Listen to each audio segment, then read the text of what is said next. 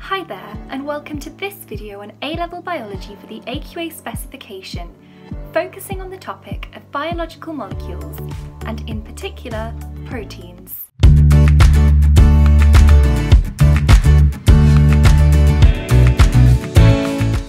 I'm Manisha from StudyMind, where we help you to revise A-Level Biology with our helpful video tutorials tailored to your subject, your specification and to you. If you're new here, please make sure to click that subscribe button. And whilst you're watching, feel free to leave any comments down below of anything you're unsure about and let us know if it's your first time watching so we can send you our free revision resources.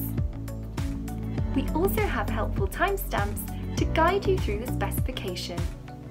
So, let's get started. Welcome to lesson 4 of 8 in this tutorial, covering proteins. This is the fourth video in our series of 8 lessons on the topic of biological molecules. In the last lesson, we looked at lipids and their different functions in the body. Here are the key learning objectives for today's lesson. The first is to look at the structures of proteins and how we can detect them. We will then look at the biological roles of proteins in the body. Here are the AQA specification points for today's lesson. We will start off by looking at amino acids. There are 20 amino acids, and they all have very similar structures. They all have one type of general structure. On one end, they contain an amine group, which is NH2. This is sometimes called the N-terminus. On the opposite end, they contain a carboxyl group ending in COOH, which makes them an acid. This is known as the C-terminus.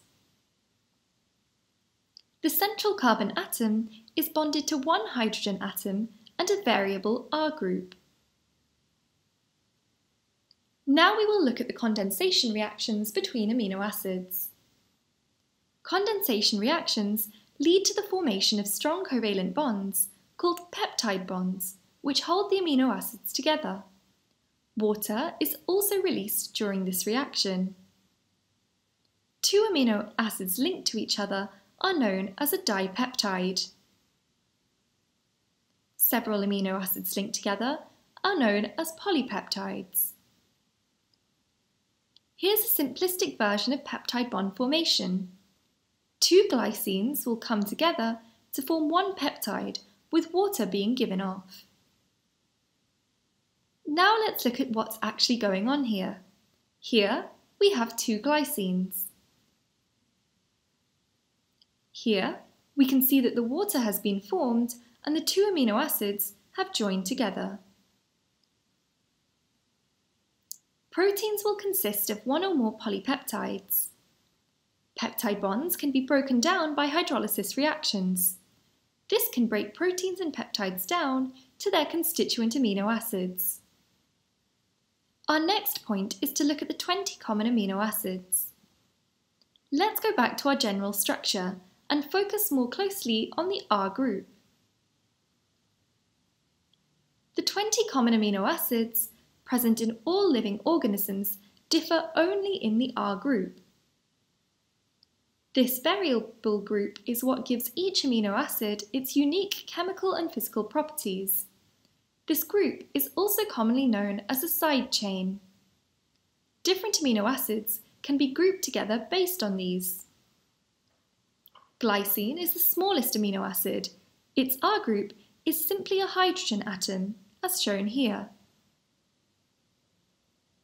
There's no need to memorise all 20 common amino acids just understand how they differ. Now, we will cover the range of functions of proteins. There are four levels of protein structure, primary, secondary, tertiary and quaternary. Their representations are shown here. We can go from primary to secondary to tertiary and finally reach quaternary structure. The primary structure of a protein is the sequence of amino acid that makes up its polypeptide chains. it's flat and 2D. In the secondary structure, hydrogen bonds between the different amino acids in the chain are responsible. Coiling will cause alpha helices, and folding will form beta pleated sheets. Make sure you remember how hydrogen bonds work. The secondary structure of a protein can be further folded or coiled into a tertiary structure. Tertiary structure can involve further coiling and folding. It involves four types of bonds, ionic, hydrophobic forces, disulfide bridges, and hydrogen bonds. Ionic bonds will result from the electrostatic attractions between the ions contributing to the folding. Disulfide bonds will form between the cysteine residues. Hydrophobic forces are very key. Hydrophobic amino acids are repelled from water. Therefore, they get pushed inside the protein due to the water molecules in their environment. Proteins consisting of only one polypeptide chain will have tertiary structure as their final structure.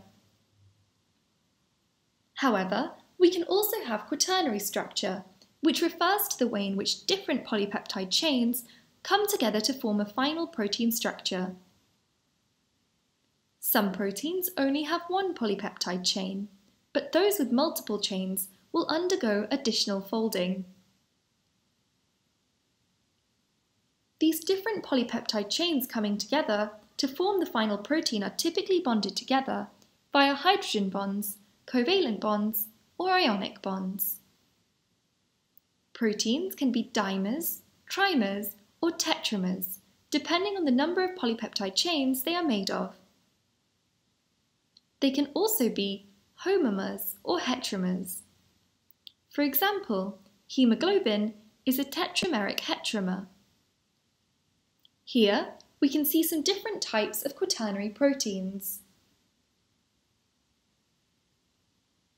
Now we will look at how to detect proteins. We can use the Biuret test in order to detect the presence of proteins. The solution needs to be alkaline. To make it alkaline, we'll add a few drops of sodium hydroxide, which is a base. Next, we need to add a few drops of aqueous copper 2 sulfate to the test solution. We can then observe the colour change. If the solution is still blue, this means there is no protein present. However, if there is protein, the solution will turn purple. Our final point is to look at the properties of proteins. There are four types of functions as shown here. The first is enzymes. Enzymes can be large or they can be compact, depending on the substrates to which they bind. Enzymes are usually soluble in water. Enzymes work by reducing the activation energy of a chemical reaction by binding directly to one or more substrates. Most enzymes are capable of binding only to a very unique substrate. Therefore, the shape of an enzyme directly impacts and determines its biological function. Antibodies will play a critical role in immune response. They directly recognise and bind to the unique antigens on the surfaces of foreign pathogens, such as bacteria and viruses. Each antibody has a unique shape, allowing it to only bind to the antigen it's designed to bind to. This is called complementary. The structural specificity of the antibody is determined by something called a variable region. Transport proteins will regulate what enters and exits a cell. The structure of a transport protein will determine its transport properties. For example, aquaporins are responsible for moving water molecules into and out of cells.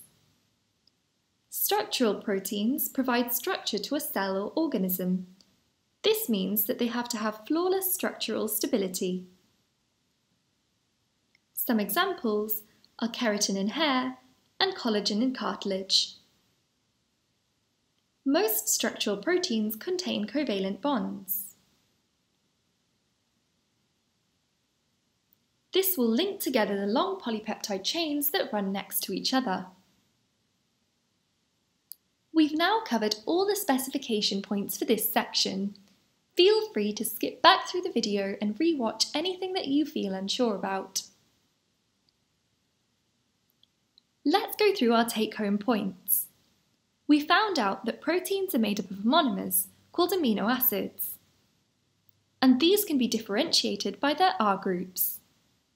We also know that they're linked by peptide bonds and that proteins are made up of one or more polypeptide chains. We looked at the structures of proteins and how to detect them. Finally, we looked at their roles. We've now completed Lesson 4. If you enjoyed this tutorial, make sure to subscribe by clicking down below and leaving a comment of a topic that you'd like to see a video on. Click here to watch the rest of our videos in our A-Level Biology series, or visit our website, studymind.co.uk, for past paper compilations by topic and specification.